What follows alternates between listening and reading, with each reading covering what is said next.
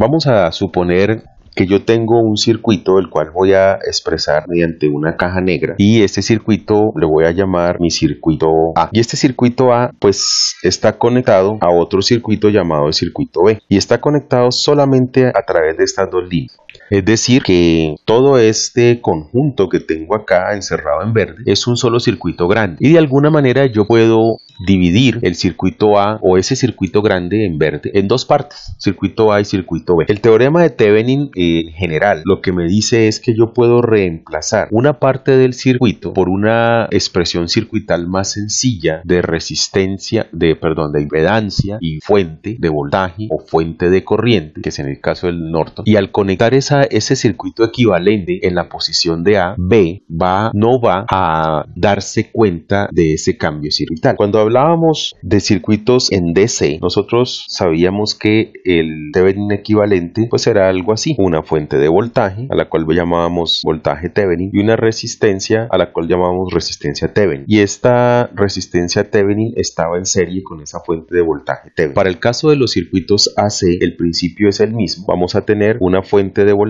llamada también voltaje Thevenin en serie con una impedancia a la cual llamaremos impedancia Thevenin. El teorema de Thevenin entonces lo que me está diciendo es que todo este circuito de fuente de voltaje AC en serie con una impedancia se puede utilizar para reemplazar el circuito A de tal forma que B no va o B al hacer el reemplazo de A por el Thevenin equivalente no va a detectar o no va a sufrir ningún cambio eléctrico. Podría entonces luego yo hacer lo siguiente, colocar esa fuente de AC equivalente, esa impedancia Thevenin equivalente y conectársela directamente al circuito B. Y el circuito B va a comportarse y va a creer, digámoslo así, que no ha sucedido ningún cambio entre ese par de terminales que estaban conectadas al circuito A.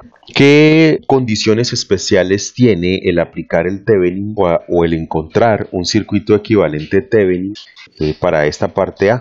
Allí lo que tenemos que tener en cuenta es que si existen fuentes dependientes, estas fuentes dependientes estas fuentes mm, pueden ser tanto de voltaje como de corriente. Estas fuentes y la variable que las controla tienen que estar en el lado del circuito A. Es decir, yo no puedo tener la fuente dependiente por aquí y la variable de control por acá. Mm, si es así, no podemos aplicar el Thevenin equivalente. Si tenemos fuentes dependientes, tanto la fuente dependiente como la variable que la controla tienen que estar del mismo lado del circuito A. Si no, no podríamos aplicar el Thevenin equivalente.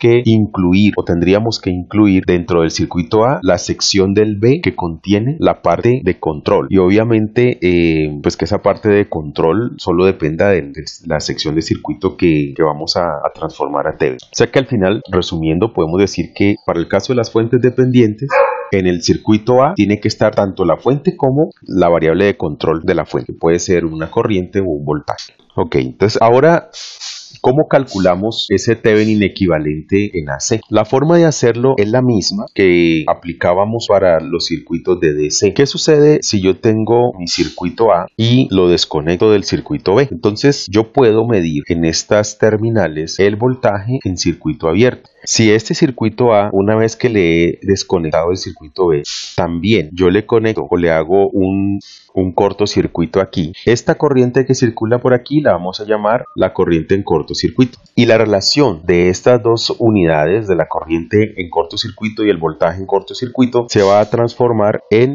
la impedancia Thevenin que nosotros queremos encontrar. Z Thevenin va a ser igual al voltaje en circuito abierto sobre la corriente en cortocircuito. Miren que aquí se aplica la ley de Ohm, impedancia, voltaje sobre corriente.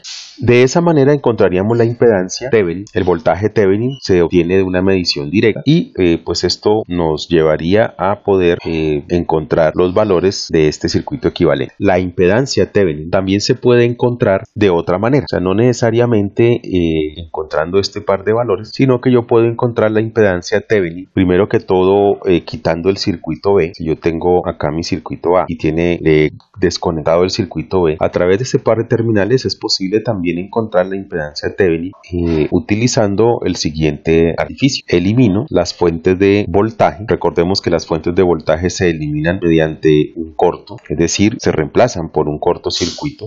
Y elimino las fuentes de corriente. Esas fuentes de corriente nosotros también tenemos que recortar o recordar que se, se eliminan con un circuito abierto. Al poder hacer eh, esta eliminación de fuentes, pues me van a quedar una serie de impedancias en serie y en paralelo y aplicamos los conceptos de impedancia serie y paralelo para encontrar los equivalentes y al final saber cuál es el valor de esa impedancia que se observaría a través de este par de terminales. Hay que tener en cuenta que si en nuestro circuito A existen fuentes dependientes, obviamente con su variable de control también incluida dentro de A, esas fuentes dependientes eh, no se eliminan. Entonces las fuentes dependientes no las vamos a eliminar, solamente vamos a eliminar las fuentes independientes, las dependientes no. Pasemos a, resolver un, ejercicio pequeño de equivalente Thevenin para ilustrar pues la forma en que, en que debemos encontrar esos equivalentes en circuitos AC. Supongamos que yo tengo un circuito equivalente eh, de la siguiente forma, un circuito en el que tengo por aquí una fuente de voltaje dada por, llamémosle V sub I igual a 36 coseno de 160 T, que sea esa la fuente, que tenga una resistencia por acá, que tenga por aquí una bobina y que tenga por aquí un capacitor. Vamos a pensar que esto viene conectado por acá a una resistencia de 100 ohmios y esta, esta de aquí es una resistencia que vale 200 esta bobina que está aquí vamos a decir que es un valor de 2.25 henrios y esto que tengo por acá son 50 microfarads el ejercicio consiste en encontrar cuál es el equivalente Thevenin entre este par de puntos llamémoslo entre A y B es decir la fuente de o más bien la resistencia de 100 ohmios eh, está conectada a ese circuito y se la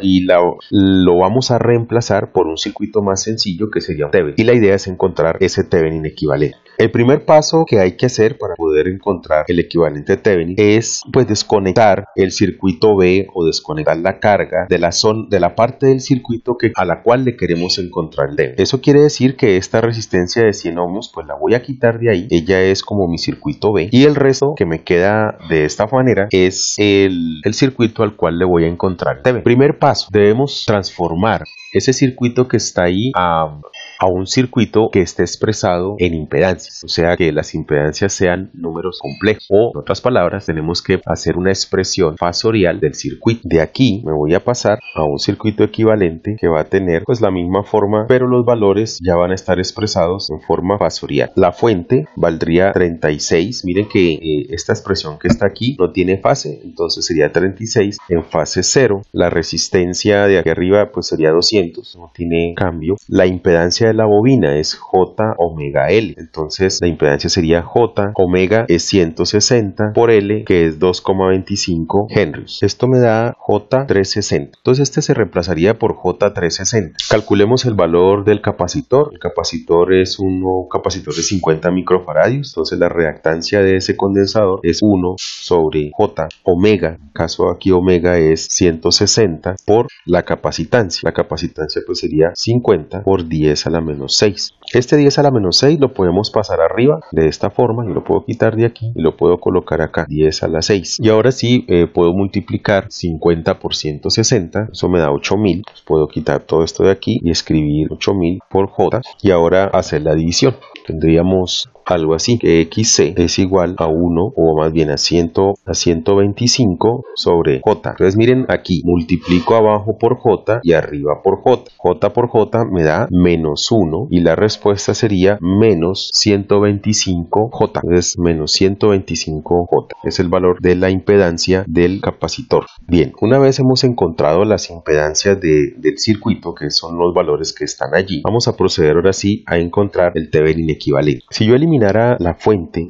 de voltaje que tengo acá, pues la elimino con un corto y me va a quedar que la resistencia de 200 ohmios está en paralelo con la impedancia de la bobina, que es J360. Esta, esta impedancia luego me va a quedar en serie con la impedancia del condensador. Veámoslo acá. La fuente la he cortocircuitado, ya desaparece. Tengo por acá la resistencia, tengo por acá la bobina, tengo por acá el condensador. Esta resistencia tiene un valor de 100 y esta eh, impedancia es J J360. Aquí me equivoqué, la resistencia es 200. ¿Cuál sería la impedancia entre estos puntos? Pues vemos ahí que esos dos elementos están en paralelo. Eh, llamémoslo Z paralelo, ZP. ZP va a ser igual a la impedancia entre 200 y ohmios y J300 ohmios de la bobina. Entonces la impedancia paralelo sería 200 por J360 sobre 200 más J360. Recordemos que cuando son solo dos elementos, la impedancia es el producto de los dos valores dividido la suma de los dos valores. El Z paralelo estaría expresado por estos valores que tengo acá o por esta, esta ecuación, pero la impedancia total, que es la misma impedancia Thevenin, va a ser igual al Z paralelo más la reactancia del condensador. Miren que el condensador está aquí con una reactancia de menos J125. Entonces Z total va a ser igual a Z paralelo menos J125. Tendríamos que Z total es igual, calculémoslo ahora así. A toda esta expresión le vamos a restar 125 y me da este valor que tengo acá, 158.002 en un ángulo de menos 14. Para aproximar vamos a, obviar el punto 002 y digamos que la respuesta es 158 en ángulo de menos 14.7. Esto me daría 158 en ángulo de menos 14.7 grados. Esa es la impedancia total que es la misma impedancia Thevenin. Encontremos ahora el voltaje Thevenin. El voltaje Thevenin es el voltaje que aparece entre las terminales A y B o el voltaje en circuito abierto. Nuevamente conectamos la fuente, resistencia, bobina, capacitor con sus valores. Ese voltaje Thevenin es el mismo voltaje que hay entre las terminales A y B, que es el mismo voltaje en circuito abierto de ese circuito que tengo allí. Para encontrar ese voltaje eh, en circuito abierto, podemos aplicar un divisor de voltaje. ¿Por qué? Si nos damos cuenta, mm, digamos sin dejarnos impresionar de los símbolos de los componentes que tenemos ahí, es claro que a través del capacitor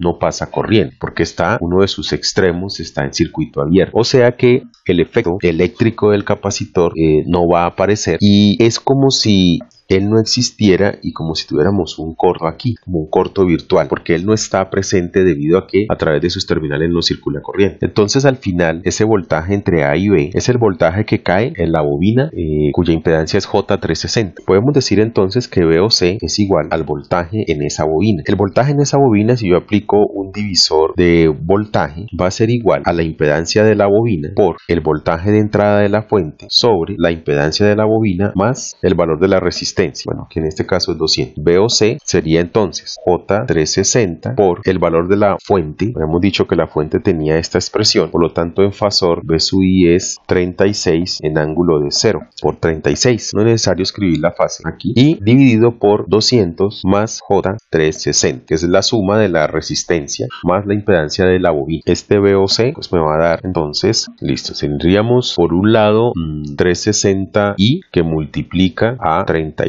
con base 0 y todo eso está dividido por 200 más 360 y listo. Entonces la respuesta sería 31.46 con una fase de 29,05 más o menos. Vamos a tomar dos decimales nomás, entonces sería 31.46 con una fase de 29,05 y ese sería el voltaje Thevenin. Es decir que de nuestro circuito original que era este, yo lo voy a poder reemplazar por un circuito equivalente dado por una fuente, una impedancia. Esta fuente va a tener, llamémosle B Thevenin, B Thevenin va a ser una fuente que tiene esta expresión 31 46 con fase de 2905 y la impedancia Thevenin va a ser una impedancia. Listo esa sería la impedancia. Hasta ahí eh, bueno hemos obtenido el equivalente Thevenin y se supone que la resistencia original de 100 ohmios que iba a estar conectada a todo ese circuito tiene que comportar o su comportamiento eléctrico tiene que ser igual tanto con el circuito original como con el equivalente Thevenin que es lo que vamos a proceder a ver ahora con el simulador. Bueno ahora vamos a proceder a demostrar con el simulador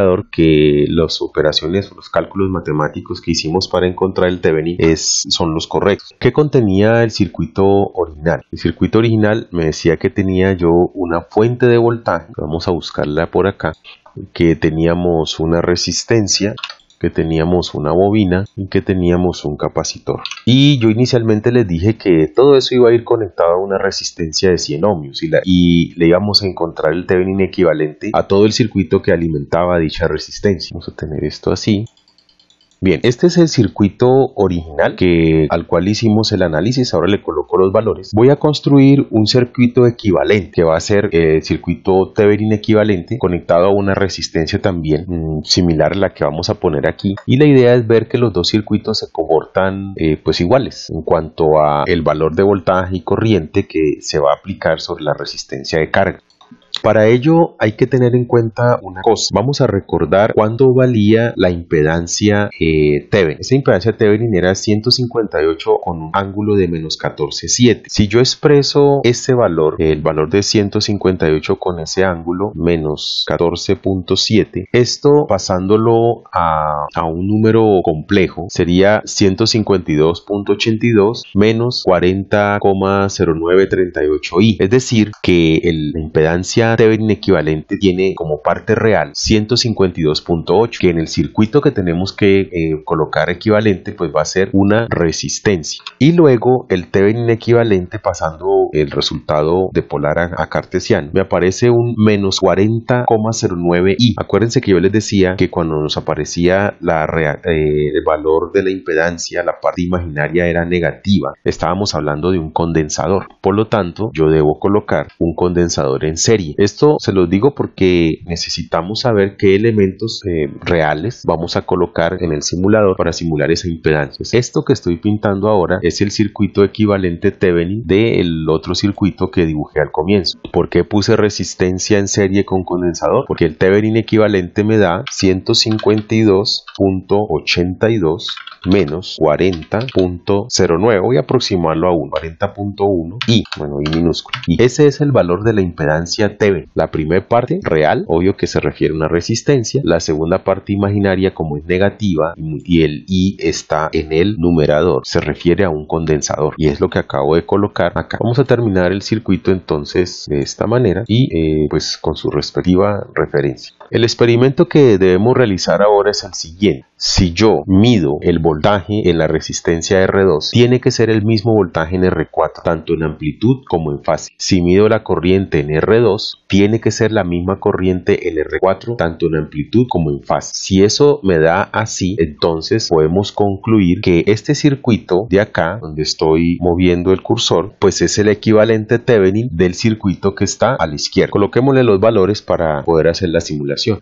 Pues esta era de 200 esta tenía una, bobina de 2.25 henrios y este condensador que está aquí era un condensador de 50 microfarads. Y la resistencia de carga habíamos dicho le podemos poner cualquier valor igual tiene que comportarse de la misma forma para ambos. Vamos a ponerle 100 ohmios. De este lado entonces tendríamos que la resistencia era una resistencia de 152,82 y que el capacitor era un capacitor capacitor de, de no sabemos, bueno, esto hay que calcularlo, menos 40i. Bien, el, capacitor eh, tiene una impedancia de menos 40.1i y pues nosotros decimos que la reactancia de un condensador es 1 sobre j omega c y que esto es igual a menos 40.1i. Eso es lo que nos está dando. Podemos hacer lo siguiente, voy a, miren, voy a tomar, voy a invertir esto y entonces quedaría j omega c sobre 1 igual a 1 sobre menos 40,1 y simplemente invertía ambos lados. Es decir lo que se estaba dividiendo lo que estaba en el denominador pasa al numerador y viceversa. Ahora si yo tomo esta i y la paso al otro lado está multiplicando pasa a dividir no quedaría por acá. Y por i me da menos 1 entonces estas las quito me da menos 1 y menos por menos da más no me queda algo así. De aquí puedo sacar que c es igual a 1 sobre omega por 40,1 algo así. Entonces C pues, va a ser igual a 1 sobre 40.1 por omega, que es 160. Y si multiplico esto por un millón, lo estoy pasando a micros, microfarad. Entonces, el valor del condensador es de 155,86 microfarads. No vamos a pasar ahora pues al, al circuito. Ok, entonces el valor del capacitor nos dio un valor de 155.86 microfarads. Y ese es el, el, valor de la capacitancia. Y por acá tendríamos la resistencia de 100 ohms. Solo nos falta cuadrar las fuentes. Las fuentes eh, tenía una amplitud pico de 36 voltios. Vamos a ir por acá. Offset de 0, amplitud máxima de 36 y la frecuencia. La frecuencia que aparece en el, en el ejemplo que les estoy mostrando, ese 160 es omega.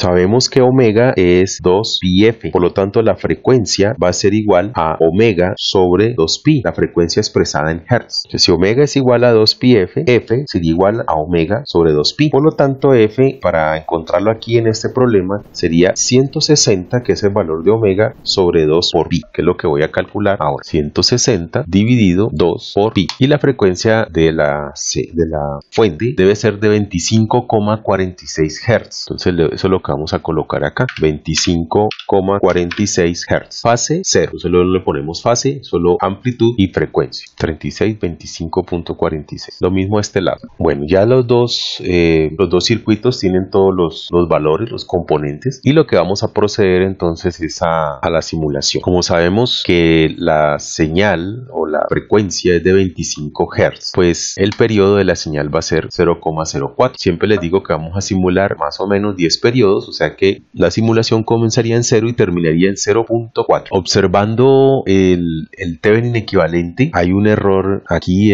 a la hora de haberle colocado el valor, no es el mismo valor de la fuente original, es el valor del Thevenin equivalente. En ese caso habría que colocar la amplitud Thevenin, que es 31.46. La frecuencia sí es la misma, pero aquí tenemos fase, que sería 29.05. Allí estaría correctamente eh, configurada esa fuente o sea, con el valor de BTV, amplitud, frecuencia igual y fase. Procedamos entonces a hacer la, la, simulación. Entonces, para simular, tiempo de inicio 0, perdón, eh, tiempo de parada 0,4, que es el que vamos a definir, que son 10 ciclos de la señal. Tiempo para comenzar a salvar datos 0 y el paso 0.001. Y ok, vamos esto por aquí y corremos la simulación. Allí han pasado los 400 milisegundos y entonces si vengo acá y miro el voltaje en R2, es ese que está ahí, debería ser el mismo voltaje en R4 que eh, ahí está.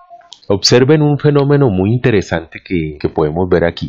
Si ustedes ven eh, la forma sinusoidal del circuito, ya por el lado de los, podemos decir, eh, sí, por acá, de los 200 milisegundos en adelante, las dos señales son idénticas. Quiere decir que el equivalente Thevenin es correcto. O sea, hicimos un, encontramos un equivalente Thevenin correcto de ese circuito. Pero el equivalente Thevenin que nosotros aprendemos a calcular es un equivalente Thevenin solamente para el estado estacionario. Miren que de 200 milisegundos en adelante las dos señales son idénticas. Pero de 200 milisegundos hacia atrás no lo son. La señal verde, que es la señal original, no coincide con la señal azul. Por lo tanto, el equivalente Thevenin que calculamos ahora aplica solamente al estado estacionario. Para el estado transitorio no. Porque eh, el comportamiento inicial de los componentes del circuito original o la respuesta que ellos presentan ante ese cambio de estado eléctrico no debe ser igual a la del Thevenin equivalente debido a que los componentes son diferentes y tienen formas de comportarse diferente ante un cambio de estado eléctrico brusco. Solamente transcurrido un tiempo en el que la suma de todos sus, sus comportamientos ya se estabilizan es que los dos circuitos se parecen. Entonces el Thevenin funciona, es correcto, pero solamente para estado estacionario. No podemos decir que el Thevenin se aplica al estado transitorio que es un mundo diferente. Los dos eh, circuitos pues tienen un modelo de estado estacionario idéntico.